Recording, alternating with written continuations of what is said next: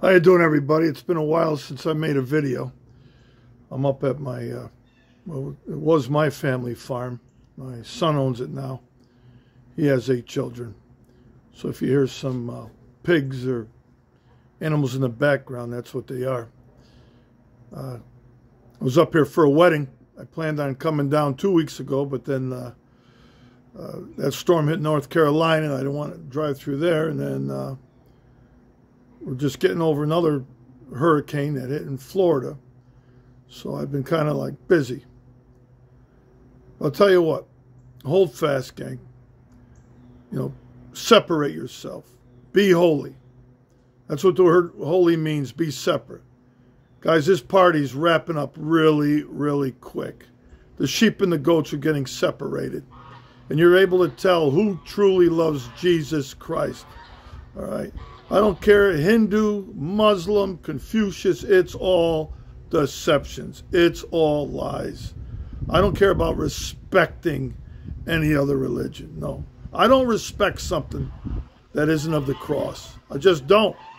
Right? I just don't. Being a Christian doesn't mean respecting other religions. It means respecting your fellow man, but not respecting their beliefs. I don't respect things that are wrong, and that's just the way the Lord has it in my heart. Now, how do I have the faith to even say that? You might say, who is he to put his religion, his beliefs above somebody else's? Well, all I can tell you, I got reborn. I got saved from above. It didn't come from my parents. It didn't come from a church. It didn't come from a card. It didn't come from religion. It didn't come from two people knocking on my door and sitting and giving me a magazine. No, it came from above. Kind of like what happened to Paul. And I'm not saying it happens like that to everybody. But when that does happen to you, and maybe that's what it took. Maybe I was such a wretch that the Lord had to intervene and literally give me a, a Saul experience where I got knocked off a horse and I entered in a total different realm. But I tell you what, we've respected too far many things other than the Lord Jesus Christ. There's no room for tolerance. No, there isn't. There's only one. The first commandment there is only one God, and there is only one Lord. And we know of the Father through his Son. And yes, Jesus was a man who walked this earth, but it's only because to fulfill a plan of his sacrifice. He was the Word of God, which means he was God, which means he came from God. And he became flesh but he wasn't conceived of a, of a woman. He was conceived of a man born of a woman, born under the law. Under law means meaning he had to deal with all the same things we have to deal with, even the laws of gravity, the laws of heat and cold, the laws of humanity outside of God. He was spit on, he was crucified, crown of thorns put on his head. What? What wrong did he do? This is how insane the world was. And I'm not so sure these people were even human. You know, two weeks before he got crucified, you know what he did?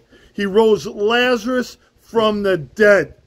And Jesus made sure he was dead. It was a four day experience in that grave, and he stunk. And instead of the Pharisees and the chief priests saying, My goodness, this miracle's impossible. This has to be God. This is something. No, they didn't even question him. Immediately they started plans to kill Jesus and not only kill Jesus, but to kill Lazarus. So we aren't dealing with a world down here that has any religious, spiritual common sense, even though everything is going to die and be judged. So forget about trying to use your human reasoning to reason anything. Forget about use, using your carnal knowledge to swerve anybody's attitude. Far more action has to take place on your knees so you can literally fight against these spiritual demons in the war we're truly in. That's not a flesh and blood battle. But the Lord tells us in the Old Testament, his chosen people, which I believe we are, the true Jews, a Jew whose heart is circumcised. There are other Jews that call themselves Jews, but they are not. They are the synagogues of Satan. Revelations 2 9, Revelations 3 9. And we're seeing their fruits as far as I'm concerned now. But you and I, being the true Jews, read the last verse in Romans 2 whose heart is circumcised. Heart is pulled back. Has your heart been circumcised? It's not written in the law. It's not something that you have to go to a book to read. The laws of God are now written on your heart. And now the true communion isn't a bread wafer. If you want to do that in, in you know, in remembrance of the Lord, that's fine.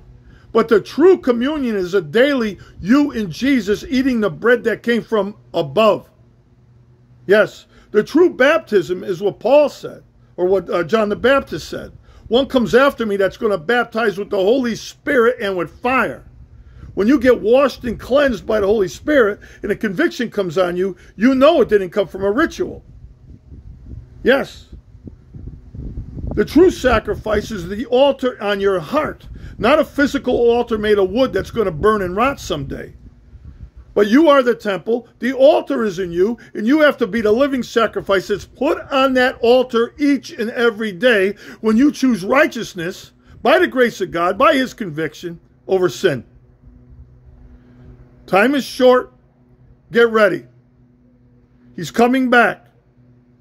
And regardless if he comes back or you go to meet him in the next five minutes, the thing is, you and I are on a specified time. So redeem the time. And it seems like it's wrapping up. And don't give in. Don't give in to the politics. Don't give in to anything. Because we're dealing with a lot of reprobates. We're dealing with a lot of depraved minds that want to bring us into their fold little by little, like a ship getting sent out to sea. No, stand on the rock, stand on the foundation of Jesus Christ and what he taught. And don't let this world define what love is. Don't let this world define what kindness is.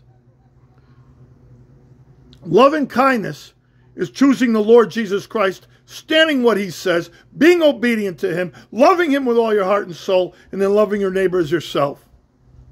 There is only one way to, to salvation, gang, and that is through the blood of Jesus Christ, meaning what he did spiritually for us, meaning that it's a spiritual battle, meaning we're no longer to, to know him after the flesh, and God is a spirit that wants to live inside of you.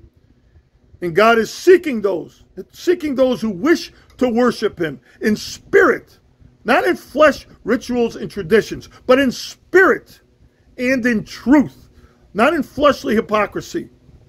But whether you amongst a thousand people or alone in your closet, you still believe the same things. Well, God bless you. Stay firm. Stay in the Lord, and amen.